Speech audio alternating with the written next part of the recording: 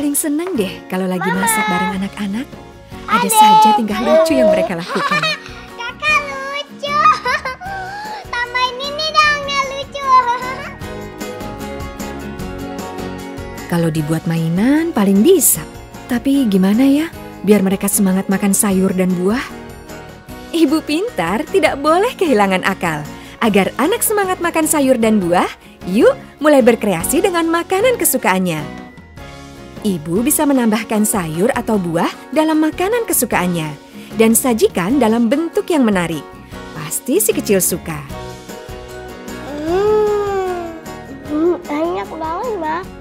Jangan lupa, bila perlu, berikan Biolisin Kids Veggie Fruit yang mengandung ekstrak sayuran dan ekstrak buah-buahan untuk bantu memelihara kesehatan si kecil. Biolisin Kids Veggie Fruit.